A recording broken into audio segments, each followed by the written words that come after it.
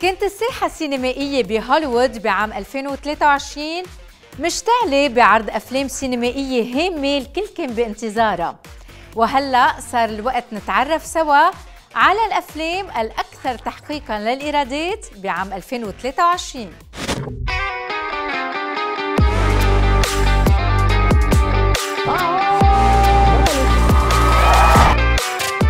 يتربع فيلم باربي في المركز الأول بعد ما حقق إيرادات بلغت مليار و402 مليون دولار في 52 يوم فقط في السينما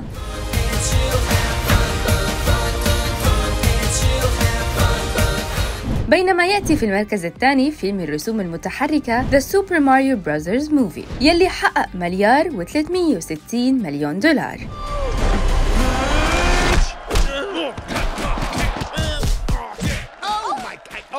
ونجح فيلم أوبنهايمر في التفوق على فيلم Guardians of the Galaxy Volume 3 يلي تراجع من المركز الثالث إلى الرابع في قائمة الأفلام الأكثر تحقيقاً للإيرادات في 2023 بإيرادات بلغت 948 مليون دولار مقابل 845.5 مليون دولار Chances are near zero.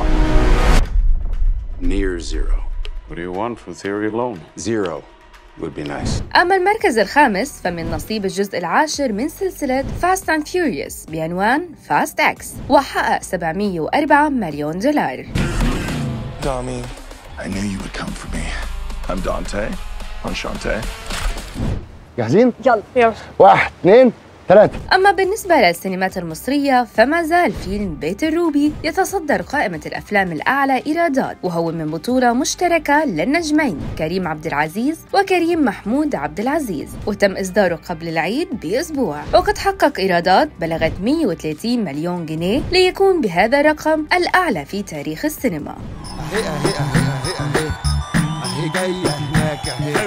وجاء فيلم تاج للنجم تامر حسني يحتل المركز الثاني في شباك التذاكر وقد تم إصداره أول أيام العيد فاقتربت إيراداته إلى 46 مليون جنيه. متأكدة إن أنا هطلع بعرف أطير؟ صدق بابا ما شاء الله يخرب بينما احتل المركز الثالث النجم أمير كرارة بفيلم البعبع ويلي حقق 43 مليون جنيه ونصف. إزيك يا بابا؟ بابا مين يا؟ بابا انت يا حبيبي أما المركز الرابع فكان من نصيب فيلم مستر إكس وهو من بطولة الفنان أحمد فهمي والفنانة هنا الزاهد وتخطت إيراداته ال 31 مليون جنيه وأنت عايز مني إيه بالظبط ها؟ أكمل أم كلامي ولا غور في داهية؟ لا غور في داهية وأخيرا في المرتبة الخامسة يحقق فيها فيلم فوي فوي فوي بطولة محمد فراج بإيرادات 29 مليون جنيه أصلا مش ترجع من كينيا دي تاني؟ افرق بقى كينيا مين يا أبو كينيا؟ أنا راسم على أوروبا.